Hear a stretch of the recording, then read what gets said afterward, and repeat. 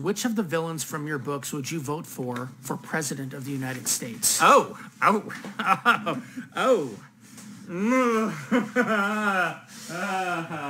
oh. um, Hrathen, probably. Hrathen is probably our your your best shot at a uh, at someone who, in the end of the day, you would be okay with them having been uh, been president. I'm trying to think of anyone.